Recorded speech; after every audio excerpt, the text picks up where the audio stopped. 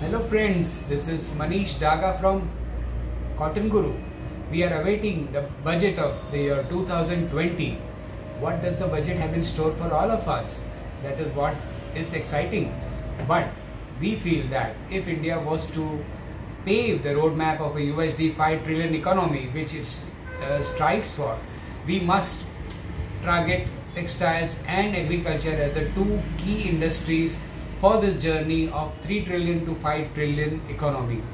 Agriculture and textiles are the two key industries where a positive budgetary intervention will deliver considerable dividends to the economy. Why agriculture and textile? Because these two are the most employing industries. These two are one of the most oldest industries and the most unorganized industries. We need to organize both of them immediately and in short notice so that we get maximum returns out of both of this.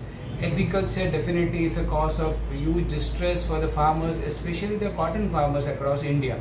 Cotton must be recognized as the most significant cash crop of India and there must be a cotton board like in coffee and a commissioner of cotton like in sugar cane to look after the best interests of cotton farmers and the entire textile supply chain.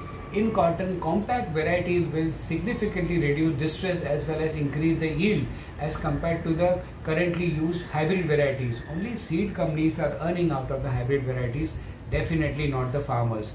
As far as textiles is concerned, government must come out with a long-term textile policy and technology mission of cotton engulfing farmers and ginners so that the whole textile supply chain is complete and everybody is benefited.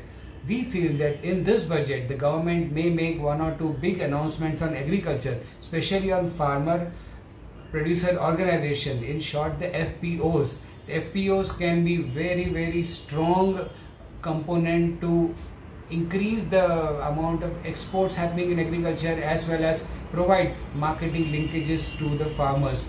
But the main challenge before the FPOs is availability of credit.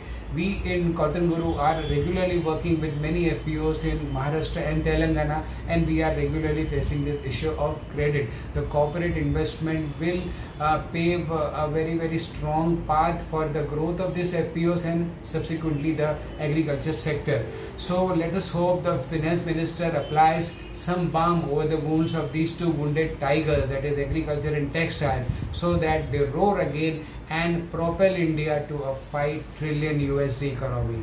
Best wishes to all of you.